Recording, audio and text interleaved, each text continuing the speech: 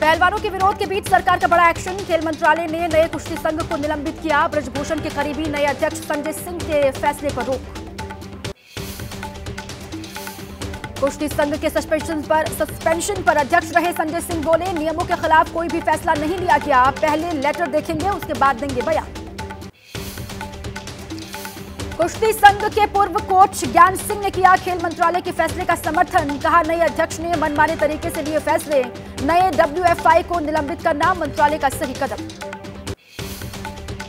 नए कुश्ती संघ के निलंबन पर उद्धव गुट के नेता आनंद दुबे बोले, पहलवानों के विरोध के सामने झुकी सरकार। माननी पड़ी पहलवानों की बात। जम्मू कश्मीर के बारामूला में मस्जिद में आतंकी हमला। रिटायर्ड एसएसपी मोहम्मद शफी की गोली मारकर हत्या। आतंकियों की तलाश में सर्च ऑपरेशन जारी। रिटायर्ड एसएसपी मोहम्मद शफी मीर सुबह की नमाज़ के लिए मस्जिद में दे रहे थे अजान, तभी आतंकियों ने अंधाधुंध फायरिंग की। जम्मू कश्मीर के पुंछ में आतंकी हमले में शहीद चार जवानों को आज राजौरी में दी गई श्रद्धांजलि। 21 दिसंबर को घात लगाकर आतंकियों ने किया था हमला। जम्मू कश्मीर के अखनूर में एलओसी के पास ड्रोन के ज़रिए गिराए गए हथियार। सर्च ऑपरेशन के दौरान पुलिस ने किया जब्त। छह आईईडी, एक पिस्टल दो मैगजीन समेत नकदी बरामद। 2024 के चुनाव से पहले बीपी न्यूज़ सी वोटर का ओपिनियन पोल मध्य प्रदेश छत्तीसगढ़, राजस्थान और कर्नाटक में बीजेपी को बढ़त।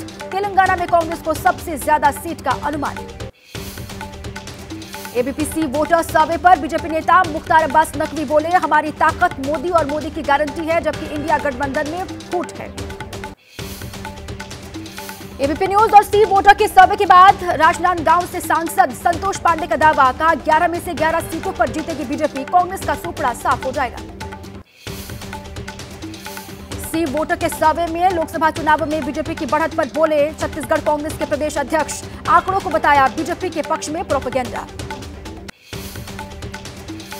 हरिद्वार में राष्ट्रीय स्वयंसेवक संघ के सरसंघ चालक मोहन भागवत दिव्य आध्यात्मिक महोत्सव का उद्घाटन करते हुए दिखाई दिए। हरियाणा के सीएम मनोहर लाल खट्टर भी साथ थे। तीन दिनों तक चलेगा ये कार्यक्रम। हरिद्वार के दिव्य आध्यात्मिक महोत्सव में आरएसएस प्रमुख मोहन भागवत ने कहा, सनातन था, है और रहेगा। जो शेष है, वही सनातन है। कोलकाता के परेड ग्राउंड में आज एक लाख लोग करेंगे गीता पाठ। पीएम मोदी ने लिखा, एक लाख लोगों के गीता का पाठ करने का उद्देश्य प्रशंसनीय है। गृहमंत्री अमित शाह का गुजरात दौरा। अहमदाबाद में प्रधानमंत्री स्वनिधि योजना के लाभार्थियों और उनके परिवारों से मुलाकात की। सूत्रों के मुताबिक, लोकसभा चुनाव लड़ेंगी प्रियंका। बड़े स्तर पर चुनाव प्रचार भी करेंगी महासचिव और प्रभारी के पद से हटाए गए कुछ नेता भी लड़ सकते हैं लोकसभा चुनाव।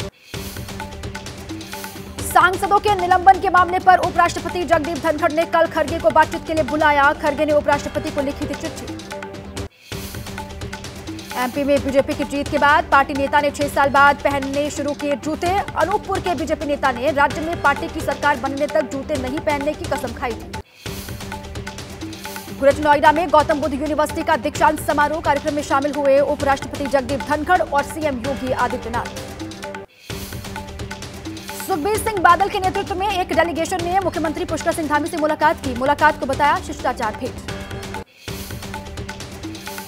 गुजरात सरकार ने गांधीनगर की गिफ्ट सिटी में एक शराब से प्रतिबंध हटाया। सूबे के बाकी हिस्सों में बैन जारी है। राज्य के गठन के बाद से गुजरात में शराब पर प्रतिबंध है।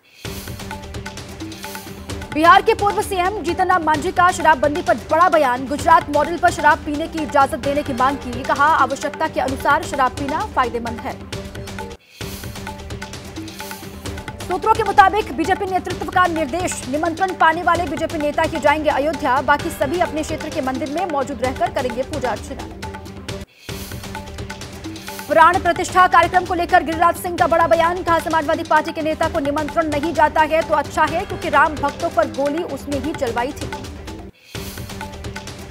अयोध्या में चल रही रामलीला के प्राण प्रतिष्ठा की तैयारियाँ। नए रंग में नज़र आ रही है हनुमानगढ़ी भक्ति पथ पर सड़क और दुकानों का सौंदर्यीकरण किया गया है। अयोध्या में बढ़ी राम मंदिर के मॉडल की डिमांड। दुकानों पर रही राम मॉडल की खूब बिक्री हो रही है। देश भर से आ रही राम मंदिर के मॉडल की डिमांड। विदेशों से भी आने लगे हैं ऑर्डर। अयोध्या रामलीला की मूर्तियाँ बनी आकर्षण का केंद्र। एग्जीबिशन के दौरान लगाए गए रामलीला की मूर्तियों के स्टॉल्स प्राण प्रतिष्ठा कार्यक्रम से पहले जमकर हो रही मूर्तियों की खरीदारी। ड्रोन अटैक के बाद अरब सागर में मुसीबत में फंसे इजरायली जहाज़ की मदद में लगा भारत का तटरक्षक जहाज़ विक्रम। मुंबई पहुँचने तक लगातार कर रहा है पहरेदारी। तमिलनाडु के रामेश्वरम में मछली पकड़ने वाली नावों में लगी आग। कई बोट जलने की खबर। है आग बुझाने की कोशिश लगातार जारी।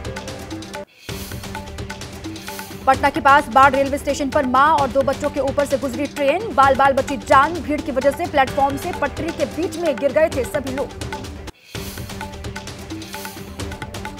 बिहार के सिवान में एआईएमआईएम के जिलाध्यक्ष आरिफ जमाल की गोली मारकर हत्या, हथियारों से लैस तीन बदमाशों ने वारदात को अंजाम दिया। मामले की पड़ताल कर रही है पुलिस। यूपी के इटावा में जम्मू कश्मीर पुलिस की गाड़ी पलटी। गाड़ी में तीन कैदियों समेत दस पुलिसकर्मी सवार थे। सभी लोग सुरक्षित हैं। गाड़ी का एक्सल टूटने से यह हादसा हुआ।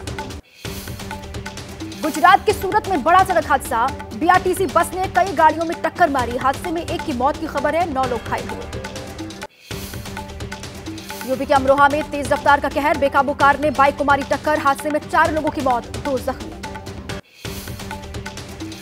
कोरोना के नए सब वेरिएंट के खतरे को लेकर बिहार सरकार का आदेश जिलों में आरटीपीसीआर जाँच बढ़ाने के निर्देश दिए गए हैं। पटना गया दरभंगा एयरपोर्ट पर आने वाले यात्रियों की रैंडम जाँच के निर्देश हैं।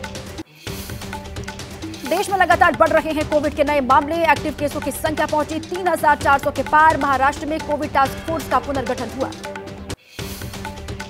कोरोना के बढ़ते मामलों को लेकर पंजाब में अलर्ट है। अमृतसर के अस्पताल में की जा रही है तैयारियाँ। कोरोना से निपटने के लिए बेड, ऑक्सीजन और दवाइयों का स्टॉक किया जा रहा तैयार।